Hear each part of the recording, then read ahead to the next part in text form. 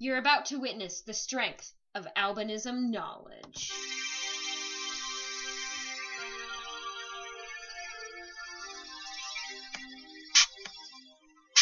Albinism is a genetic disorder with five different kinds. Oculocutaneous 1 through 4 and ocular 1 where those affected may be blind. The phenotype is obvious, pale skin, eyes, and hair.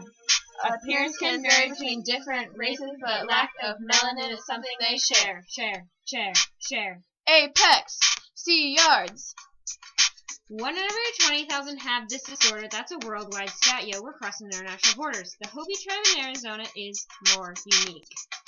One in every 200 people here are affected, but don't think this incident was freak. While unaffected men were hunting far away, albino men were in the house, away from the sun. They were there to stay. With albino men spending a lot of time with the ladies, this led to a lot of albino babies. What? Issues related to melanin production are involved in all types of albinism. This is what causes lack of pigmentation and visual malfunction.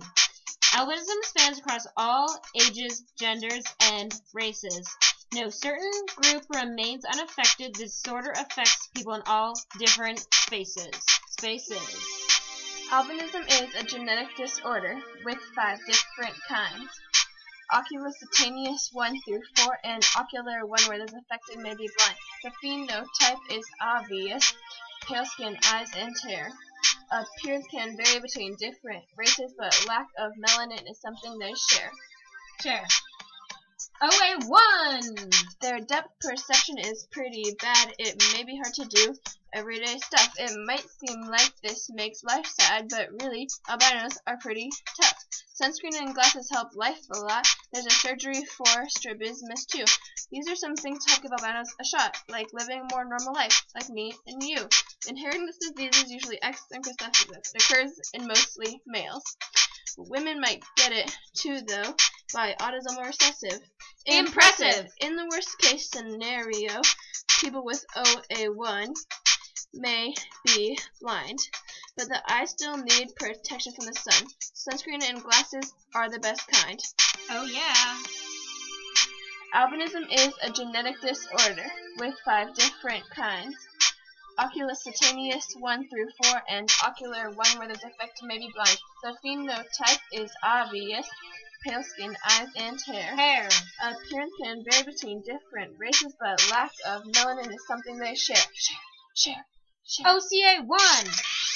OCA1 causes patients to be the most pale. It affects both male and females. Caused by mutation on the TYR gene, the total lack of tyrosinase enzyme function causes incapability to make melanin. What a disjunction! What?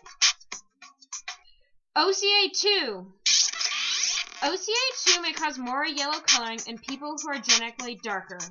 The OCA2 gene mutates the P protein, causing not totally functional tyrosinase. When, while some pigment is produced, the lack of melanin stays. Stays, stays. OCA3. Scientists don't know much about OCA3. It affects people who are African, Indian, or Pakistani. The gene that makes a mutated protein is TYRP1. That's all scientists know. We're done! OCA4. OCA4 allows for some melanin production, giving pigment to the hair. Mostly seen in Japanese and Koreans, it shouldn't give you a reason to stare. SLC54A2, this is the gene that mutates the protein, causing the paler phenotype to be seen. Albinism is a genetic disorder with five different kinds. Oculocutaneous 1 through 4 and ocular 1 where this affected may be blind. The phenotype is obvious, pale skin, eyes, and hair. Appearance can vary between different races, but lack of melanin is something they share. Share. Albinism is a genetic disorder with five different kinds.